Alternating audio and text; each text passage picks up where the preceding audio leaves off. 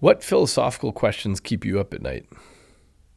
Uh, so there's a there's a question that whenever I go to like things where I see my friends, there's a table that always splits.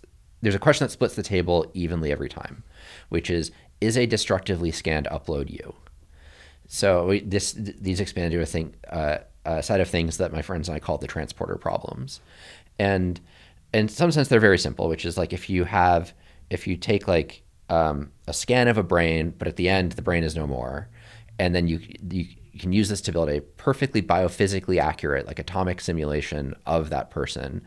Does this make you feel better about dying of cancer? And for me, the answer to that is no. And I think many people, uh, when faced actually with that situation, would conclude no. If this is no, as in you feel you will have died if you got destroyed, but Yeah. there was a replica of you that got booted up a second later.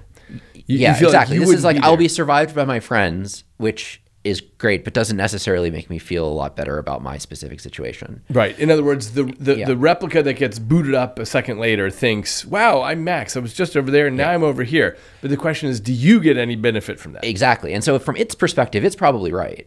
Um, and I think that the, there's you, people respond to this with saying like, well, every night you lose consciousness, you wake up in the next morning, you've broken some continuity there, which I think is like also totally fair. That's like also not that's true, but still doesn't really make me feel better.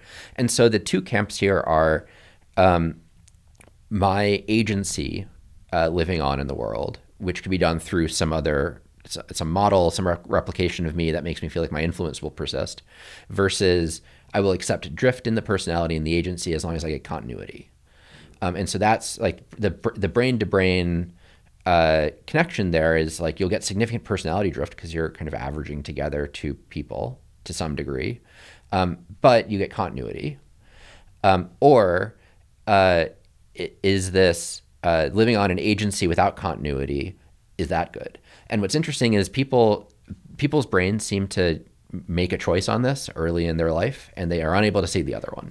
They're very convinced that this is like one of these two things is nonsensical.